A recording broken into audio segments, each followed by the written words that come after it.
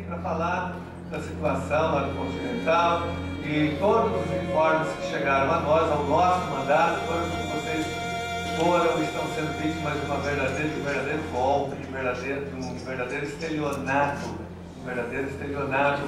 Né? Nós entendemos essa situação. Então, por isso que a Assembleia Legislativa tem obrigação aqui de tomar partido em defesa de vocês.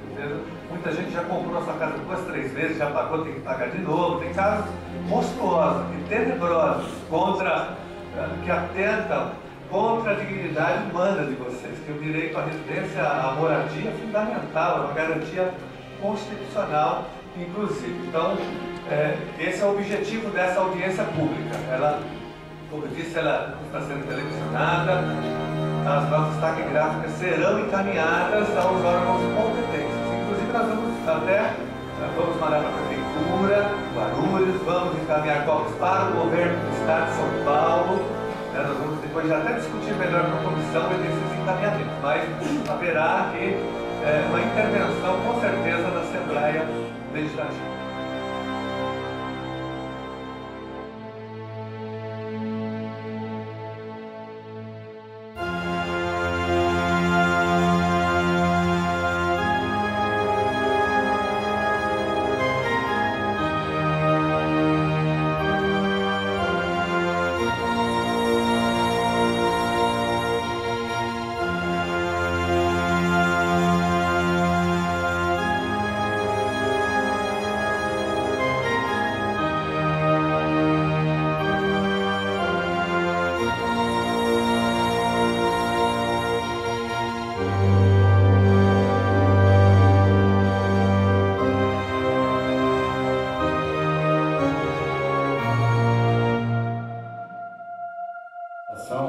Apelo desesperador dessa massa de gente que está aqui hoje, sofrida, que às vezes deita para dormir não consegue dormir direito, esse grande pesadelo que está acontecendo na nossa cidade.